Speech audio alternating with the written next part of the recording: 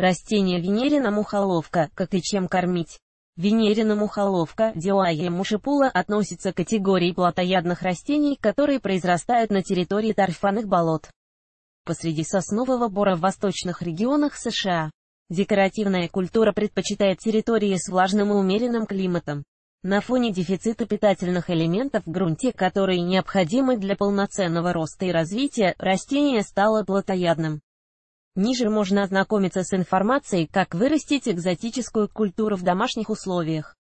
Описание. Мухоловка – растение, которое покорит сердце даже самых искушенных цветоводов. Диания не ядовитая. Ширина венерины мухоловки достигает 14-15 см. Листовые пластины располагаются в форме розеток вокруг подземных стеблей. На каждом кусте насчитывается приблизительно 5-7 листовых пластин, каждая из которых считается ловушкой для насекомых. На листовых пластинах можно отметить наличие шипов, расположенных вдоль наружного края каждого лепестка. В каждой ловушке есть волоски небольшого размера, выполняющие функции датчиков.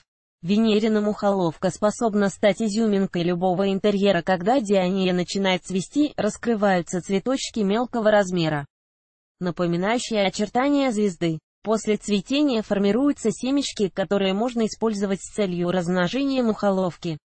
Обратите внимание, продолжительность жизни каждого растения не превышает 6-7 лет. Одноразово, случайно коснувшись усика, добиться закрытия листовых пластин невозможно. Но как только насекомое дважды коснется к двум различным волоскам, ловушка за долю секунды захлопнется. При попадании насекомого в ловушку растение начинает выделять пищеварительные ферменты. В течение 14 дней происходит полное растворение добычи. Спустя указанный промежуток времени ловушка начинает раскрываться вновь, ожидая следующую жертву. Каждая из ловушек способна уничтожить 5-7 насекомых за свою жизнь. Разновидности мухоловки. Среди наиболее популярных разновидностей венеренной мухоловки стоит выделить перечисленные ниже сорта. Крокодайль – декоративная культура с наличием ловушек, внутренние стороны которых окрашены в розовый цвет. Постепенно цветовая гамма внутренних лепестков сменяется и становится красной. Листовые пластины сорта крокодайли расположены горизонтально. Тритон – вид мухоловки, отличающийся необычными очертаниями ловушек. Лепестки у нее вытянуты, одна из их сторон разрезана. Зубчики, которые выглядят острыми, могут слипаться. Вырастить такое растение несложно. Дракула – сорт, внутренняя сторона ловушек у которого окрашена в красные тона.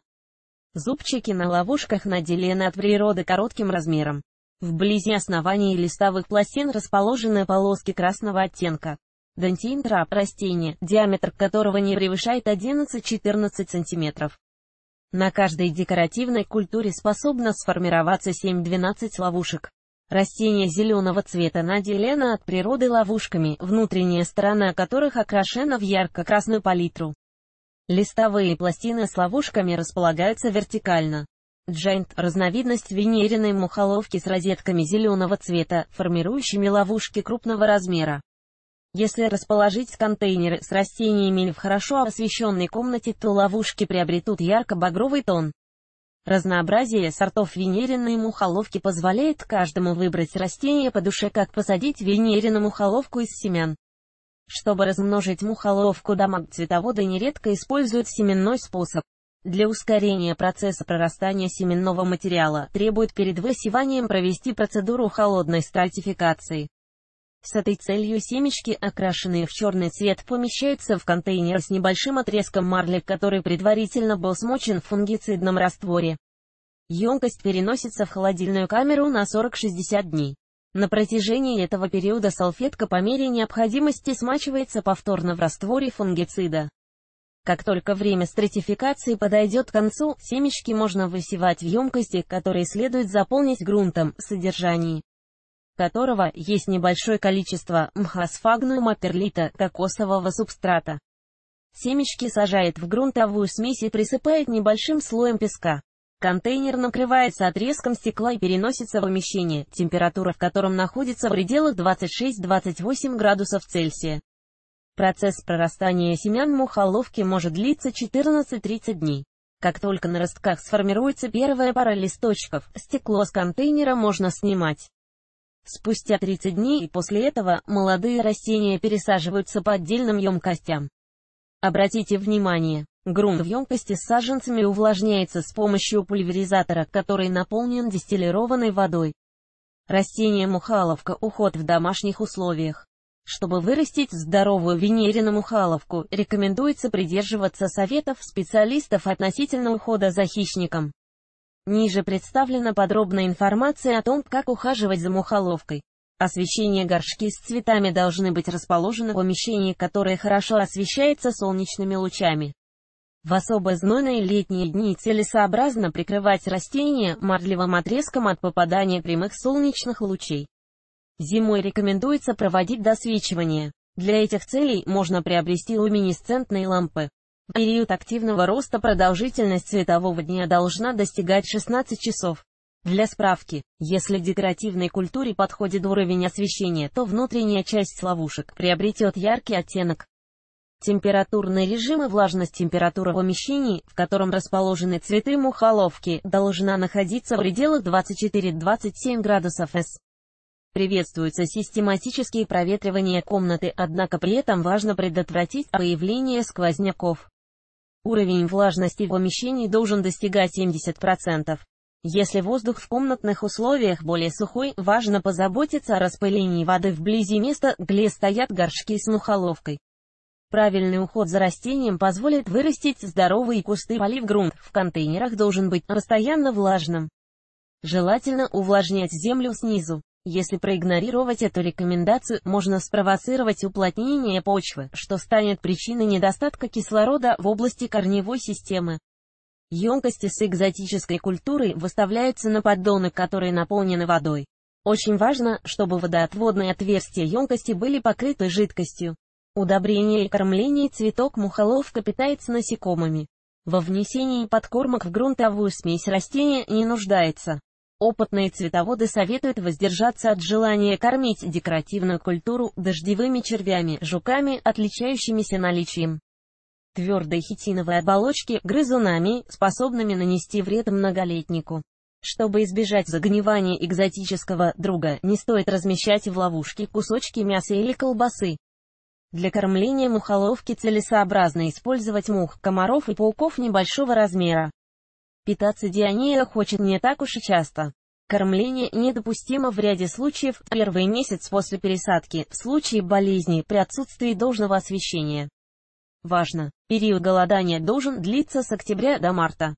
Пересадка опытные цветоводы рекомендуют проводить пересадку кустов каждые два года. Лучше всего проводить процесс в весенние месяцы. Емкости для посадки дионии должны быть достаточно глубокими, длина корневой системы достигает 20-22 см. Корни растения достаточно хрупкие, поэтому важно соблюдать осторожность в процессе работы, пошаговый процесс который описан ниже. Цветы вынимаются из емкости. Корневая система растения освобождается от старой земли.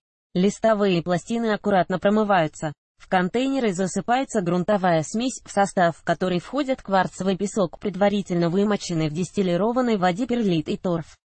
В грунте вырываются лунки и корневая система декоративной культуры углубляется в ямки. Образовавшиеся пустоты в лунках заполняются грунтом.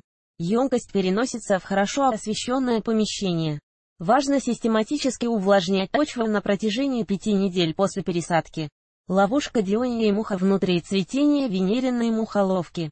Период цветения мухоловки начинается в конце весны. На кустах формируются длинные цветоносы, верхние части которых расположены соцветия. Цветы белого оттенка наделены от природы приятным сладковатым ароматом. Период цветения длится 10-15 дней. В случае, когда семена мухоловки собирать нет необходимости, бутончики можно срезать до момента их раскрытия, так как цветение забирает все силы у дионии. А это становится причиной замедления роста. Размножение. Размножаться диония может несколькими способами. Ниже представлена информация о пошаговом процессе каждого метода размножения.